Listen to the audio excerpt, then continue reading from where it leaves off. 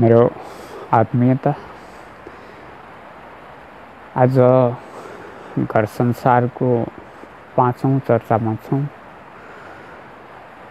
आज युवाको आधारलाई देख्नेछौँ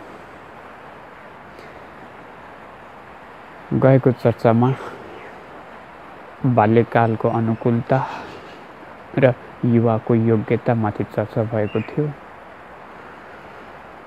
अब आज युवा अवस्था आएको छ। अब उसको आधारदेखि नै उसको आयामलाई देखौँ।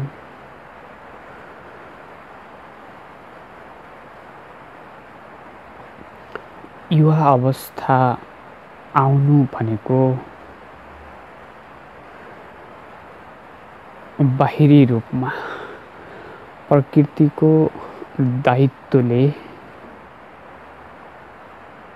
अब उसलाई मानवको स्वरूप दिनु हो मानवको रूपरेखा दिनु हो मानवको दायित्व सुम्पनु हो। मानवको रूपरेखा यसो त जन्मबाट नै आउँछ।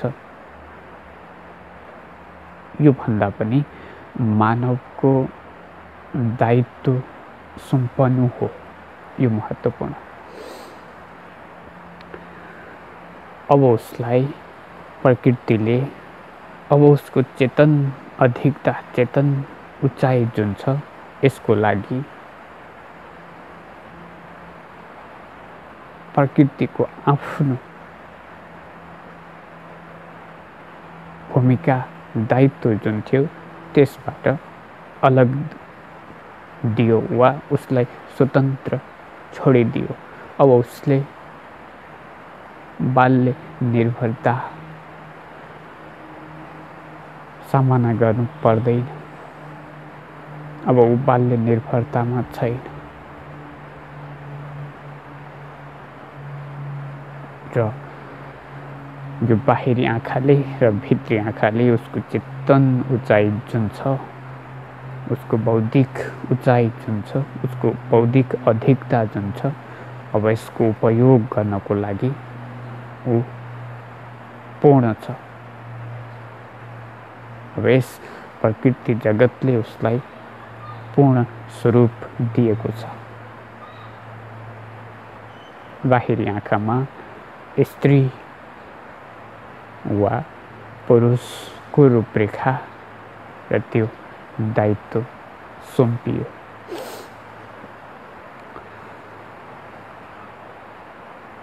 अब यो त साधारण भयो। यो सबैमा यो बाहिरी भयो यो स्वाभाविक भयो यो प्रकृतिले नै गर्यो। अब मानवको चाहिँ के? अब व्यक्तिको व्यक्तित्वसम्मको यात्रा के? अब ऊ युवा अब उसमा जुन दायित्व आएको छ जो जिम्मेवारी आएको छ जो लक्ष्य उसले यस जीवनमा हासिल गर्नु छ जुन जीवन उसले भोग्नु छ।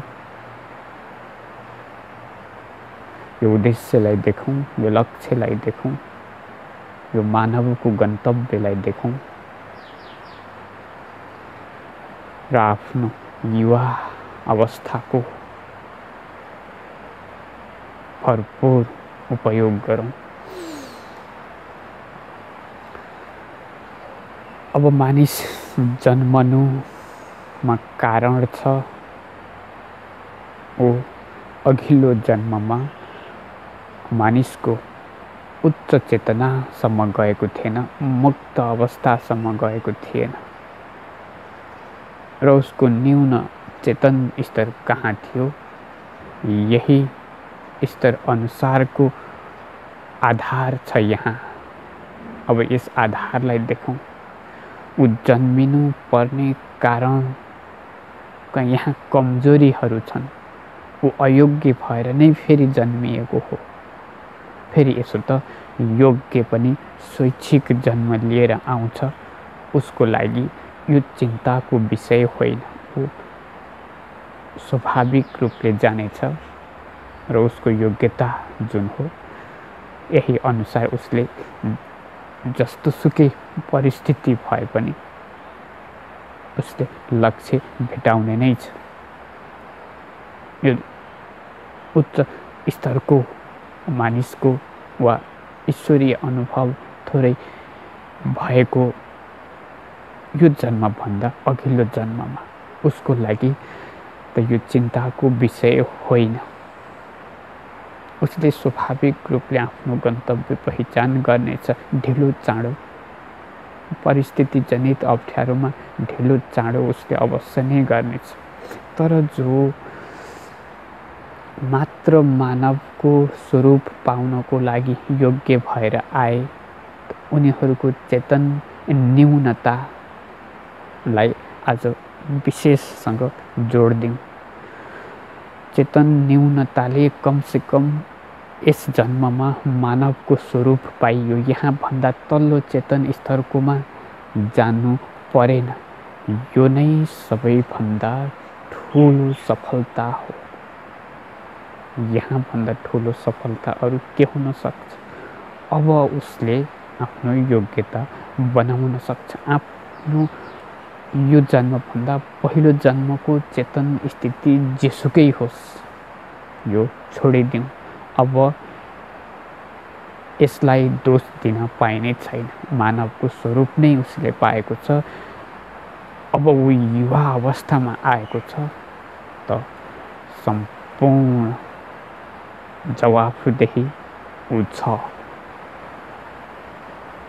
अब उसले कमाउने हो आफ्नो योग्यता। अब उसले बनाउने हो आफ्नो योग्यता।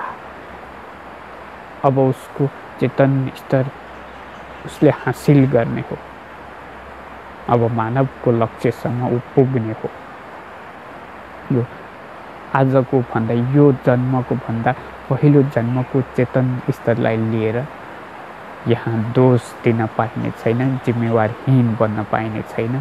त्यो त आफ्नो पूर्वजन्मको फल हो यसमाथि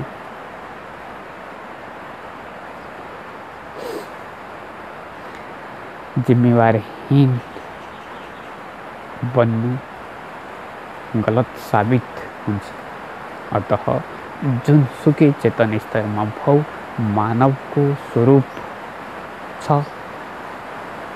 त ऊ सो जिम्मेवार छ सो जिम्मेवार बन्नु नै पर्नेछ। अब सो जिम्मेवारपन यस युवा अवस्थाको मुख्य बोध गर्नुपर्ने। सबैभन्दा महत्त्वपूर्ण विषय यो हो कि उसले यो युवा अवस्थामा जिम्मेवारी बोध गर्नुपर्छ। जिम्मेवारी बोध यसो त जेसुकैको होस् बाहिरी भौतिक गुजराको जिम्मेवारी बोध होस् या आफ्नो लक्ष्यको बोध होस्। या जेसुकै होस् जिम्मेवारी बोध गर्नु पर्यो अब म जिम्मेवार छु है।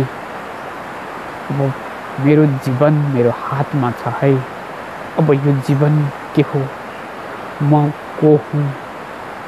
यो बौद्धिक जिम्मेवारीको आयाम र अर्को व्यवहारिक जिम्मेवारीको आयाम अब म बाँच्नु छ है। यस प्रकृतिको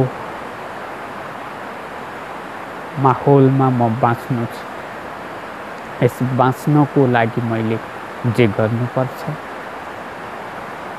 यो परिस्थिति जनित वा हाम्रो जीवनयापन जनित भयो र अर्को अर्को जिम्मेवारी हो।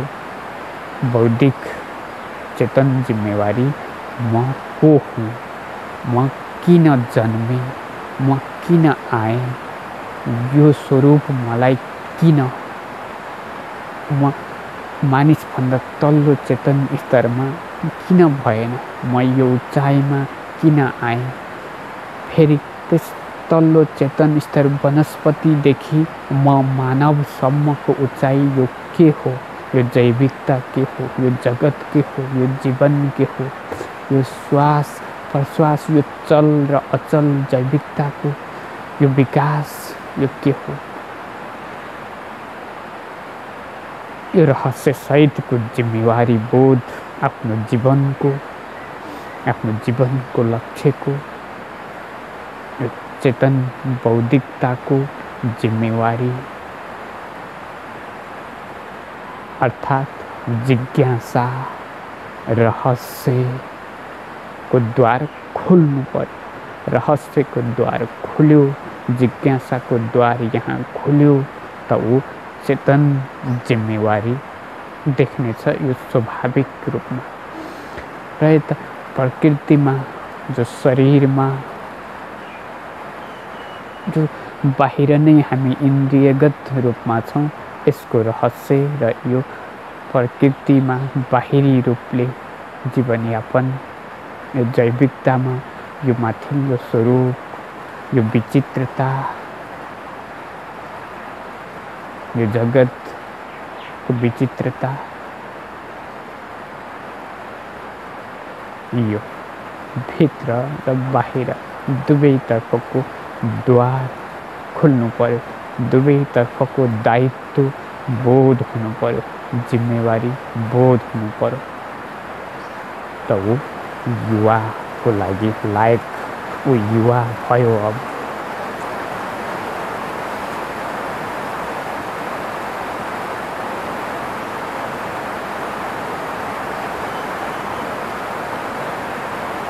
अब यहाँ मूलभूत दुईवटा विषयलाई जोड्नेछु आज। यस्तो त धेरै विषयलाई जोड्नु पर्नेछ मैले मूलभूत विषय मात्र जोड्नेछु उसले आफ्नो यस जन्मको लक्ष्य यस जन्मको कारण पत्ता लगाउन आफूलाई देख्नु पर्यो ममा के कमी छ र ममा के क्षमता छ। यी दुई कुरा देख्यो र सब थोक देख्यो अरू केही देख्नु पर्दैन। यस युवा अवस्थामा जब ऊ आयो त उसले दुईवटा आँखा खोलोस्। आफूमा के कमी छ जुन आफ्नो जन्मको कारण बनेर आयो र आफूमा कुन क्षमता छ जे क्षमता छ। जसले यो जन्मलाई लक्ष्यसम्म लिएर जानको लागि एक साधन बन्न सकोस्। एउटा आफ्नो बेग्लै स्वरूपको पहिचान बन्न सकोस्। आफ्नो व्यक्तित्वको पन प्रकृति प्रवृत्ति गुण धर्म यस अनुसारको जुन क्षमता छ यो क्षमता यो योग्यतालाई देख्नु र आफू जन्मिनु पर्ने कारण लिएर आएको पूर्व जन्मको असक्षमता आफ्नो कमी आफ्नो कमजोरी के हो? यो पहिचान गर्नु पर्यो। यी दुई कुरा यति स्पष्टसँग अध्ययन गर्नु पऱ्यो सो अध्ययन गर्नु पऱ्यो यो आजको शिक्षामा हामीले भेटाउने छैनौँ। यो आजको शिक्षाले यो कुरा देखाउने छैन। यो आजको शिक्षामा समेटिएको छैन। अत यो व्यक्तिगत रूपमा उसले बोध गर्नुपर्नेछ व्यक्तिगत रूपमा उठाउनु पर्नेछ यो आजको सभ्यताको शिक्षाले बाटो देखाउला यो होइन यो छैन। यसको पनि खोजी गरौँ यो हुनुपर्छ। अब अब हामीले बनाउनु यो आफ्नो ठाउँमा छ तर जीवन त आयो जीवन त हातमा छ। अब यस जीवनलाई आफूले भोग्नु छ जिउनु छ लक्ष्यसम्म लिएर जानु छ। अब दोष परिस्थितिलाई दिइने छैन। अब दोष परिस्थितिको होइन। अब जिम्मेवारी आफूको अब दायित्व बोध आफूको अब जवाबदेही व्यक्ति बन्नेछ अब जवाबदेही परिस्थिति होइन समाज होइन राज्य होइन जन्माउने आमा बाबु कारण होइन आनुवंशिकता होइन केही पनि होइन अब ऊ पूर्ण बन्न सक्छ पूर्णताको लागि नै हो मानव स्वरूप पूर्णता सहित छ अब त्यो पूर्णतालाई बोध गर्नु पऱ्यो दायित्व बोध गर्नु पऱ्यो म पूर्ण बन्नको लागि नै हो म पूर्ण नै छु। यदि म अपूर्ण छु त जन्मको कारण बन्यो। त्यो कारण के हो? मेरो अपूर्णता के हो? मेरो अयोग्यता के हो? मानिस र ईश्वर बिच भेद के हो? ईश्वरीय अवस्थाको मानवको सर्वोच्च उचाइ यो के हो? र मात्र मानवको अवस्था के हो? मानिस वनस्पतिदेखि मानवसम्मको चेतन स्थिति ऊ जहाँ पनि रहन सक्छ। त आफ्नो चेतन स्थिति कहाँ छ? कुन न्यूनतामा छ? यसमा आफ्नो चेतन क्षमता। आफ्नो चेतन स्थिति। यसलाई देखौँ। यसलाई बनाऊ र जीवनलाई बोध गरौँ। जीवनको अब बाँकी भोग जुन छ यो स्वैच्छिक हुनुपर्छ यो स्वतन्त्र हुनुपर्छ यो मुक्त हुनुपर्छ यो मुक्तिको लागि। अब मुक्तिको लागि अब स्वतन्त्र सत्ताको लागि स्वयंको सत्ता के हो? यो स्वयंको सत्ता देखाउँ। यसमा। आफ्नो शासकत्व आफ्नो शासन बनाउनु छ।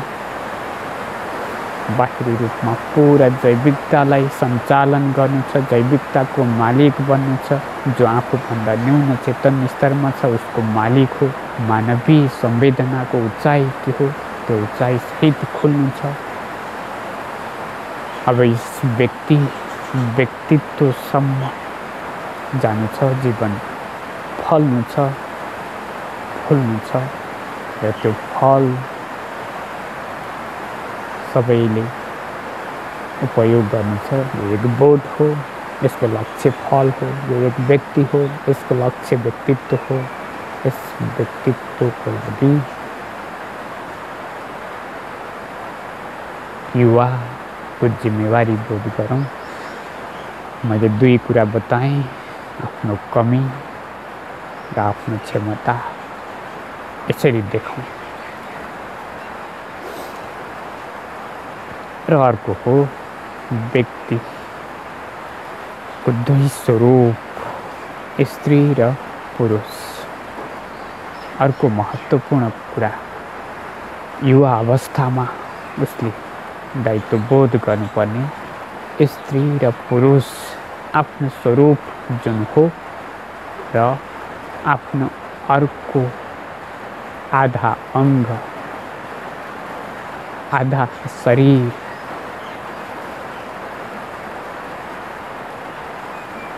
उसको चेतन स्तर पनि आफ्नो समान हुनुपर्छ। यसको खोजी यसको लागि आफ्नो सैद्धान्तिक दस्तावेज तयार गर्नु युवा अवस्थाको सबैभन्दा महत्त्वपूर्ण कुरा। आफू स्त्री हो या आफू पुरुष हो त आफ्नो आधा शरीर त अलग छ। अब त्यस आधा शरीर अलग छ त त्यस आधा शरीरलाई यस शरीरमा जोड्नु छ या सहयात्री बन्नु छ। त त्यो आधा शरीरको पनि आफ्नै चेतन स्तर छ अब उसको चेतन स्तर उसको सैद्धान्तिक दस्तावेज उसको पन प्रकृति प्रवृत्ति गुणधर्म यस अनुसारको उसको अलग्गै शरीर संरचना छ यी दुई शरीर संरचना एक सहयात्रामा जीवनको गुजरा गर्नु छ। त उसको बाहिरी स्वरूप यसले अर्थ राख्दैन। हामीले आज रूप रङ्गलाई हेर्ने गर्छौँ। यसको अर्थ छैन दुई स्वरूप छन् बाहिर स्त्री र पुरुष। अब छनौट यो हो। अब यी दुई बिचको सम्बन्ध यो हो यी दुई बिचको योग यो हो अब जीवनको सहयात्राको लागि उनीहरूको चेतन स्तरको मिलन चेतन स्तरको आधार जुन पन प्रकृति प्रवृत्ति गुणधर्म आदिले तय गरेको छ यस तयलाई मिलन गर्नको लागि खोजी। पहिला आफ्नो चेतन स्तरको दस्तावेज आफ्नो सैद्धान्तिकता आफ्नो पन प्रकृति प्रवृत्ति गुणधर्म अनुसारको आफ्नो स्वेच्छा आफ्नो स्वेच्छाचारिता आफ्नो स्वैच्छिक सत्तामा जुन सैद्धान्तिकता बन्नेछ। मनसँग विचारसँग। यस मन र विचारको आधार बनाएर मन र विचारको पानामा उतारिएको आफ्नो चेतन स्तरको स्थितिसँग मेल खाने अर्को आफू स्त्री हो त पुरुष आफू पुरुष हो त स्त्री। उसको खोज र यही पाना अनुसारको मेल यो सबैभन्दा महत्त्वपूर्ण धेरै महत्त्वपूर्ण।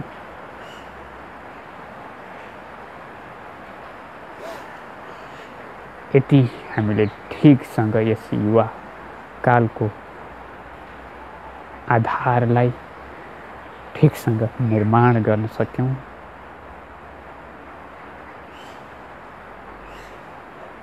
त जीवन बन्यो। आजको लागि यति नै।